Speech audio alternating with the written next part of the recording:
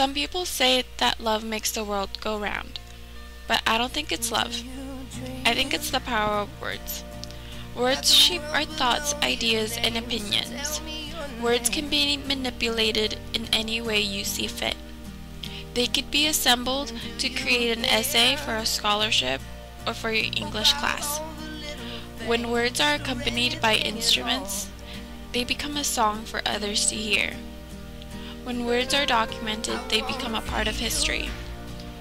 Words contain the power to change the world for the better of a population or for the worse.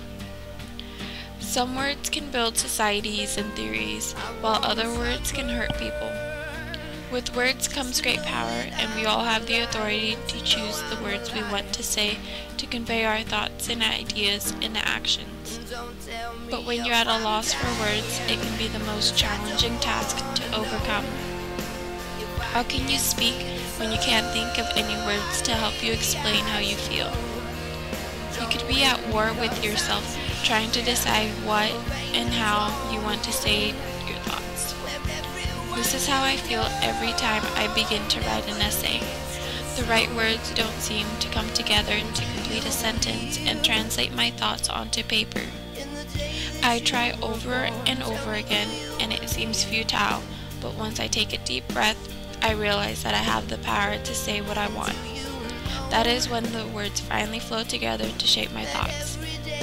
Afterwards, I feel powerful, accomplished, and just glad that I was able to finish such a difficult feat.